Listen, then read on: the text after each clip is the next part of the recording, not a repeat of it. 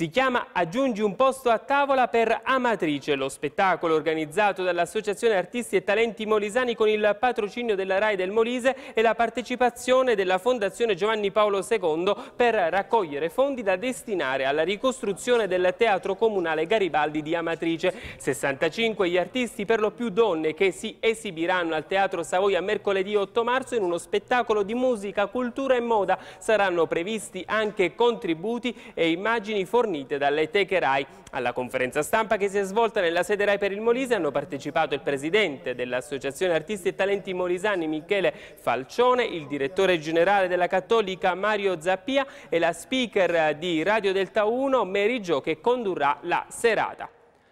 Adesso le